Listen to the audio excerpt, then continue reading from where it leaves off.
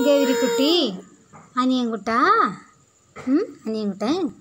അമ്മേ ഒരു കഥ പറഞ്ഞു തരാം. കണ്ടമ്പൂച്ചേരിയും എലീന്റെയും കഥയാണ് പറയണത് ആ പണ്ടേ പണ്ട് നമ്മുടെ വീട് ഇങ്ങനെ ഒന്നല്ലായിരുന്നേ പണ്ട് പണ്ട് വേറെ വീടായിരുന്നു. അങ്ങനെ ഇപ്പോഴത്തെ വീടല്ല പഴയ വീടായിരുന്നു. അപ്പോൾ അവിടെ മച്ചിന്റെ മുകളിൽ മച്ചെന്ന് പറഞ്ഞു കഴിഞ്ഞാലേ മുകളിൽ തട്ടിന്റെ പുറത്ത് അതന്നെ ആ തട്ടിന്റെ പുറത്ത് കുറേ എലികളുണ്ടായിരുന്നു. ഏ? കുറേ എലികൾ ഒരു അങ്ങോട്ടും ഇങ്ങോട്ടൊക്കെ ചാടി മറിഞ്ഞ് സുഖമായിട്ട് ഇരിക്കായിരുന്നു അപ്പോഴേ അച്ചാച്ച എന്ത് ചെയ്തു എന്നറിയോ?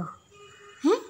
എലീനെയൊക്കെ ഓടിപ്പിക്കാനായിട്ട് പൂച്ചേനെ കൊടുന്നു എലീനെ ഓടിപ്പിക്കാനായിട്ട് ആരെയാണ് കൊടുന്നേ പൂച്ച. ഏ?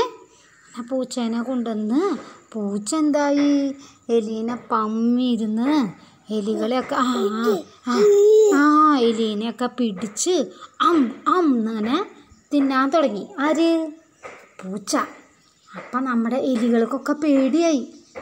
അപ്പം എലിയോൾ എന്ത് വിചാരിച്ചു എന്നറിയോ എങ്ങനെ ഈ പൂച്ചേനെ ഓടിപ്പിക്കുക? ആ എലി പൂച്ചേനെ എങ്ങനെ ഓടിപ്പിക്കുക? ഈ പൂച്ച വരുന്നത് നമ്മൾ മുന്നേ എങ്ങനെ അറിയാൻ പറ്റുക? ഈ പൂച്ച വരുന്നത് അറിയാനതിനെ പറ്റി എലികൾ ഭയങ്കര ചർച്ചയായി. അപ്പോൾ എലിയിലത്തെ ഒരു കുഞ്ഞെലി പറഞ്ഞേ ആ ആ കുഞ്ഞെലി പറഞ്ഞേ നമുക്ക് പൂച്ചേരെ കഴുത്തിലേ മണി കെട്ടാം.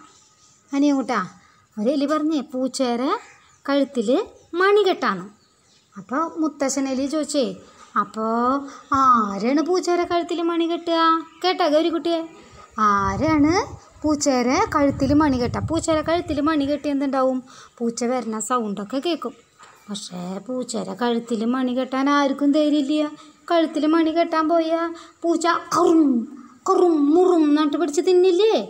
അപ്പോൾ ആർക്കും ധൈര്യമില്ല. വീണ്ടും ഒരു ചിന്താകുഴപ്പത്തിലായി.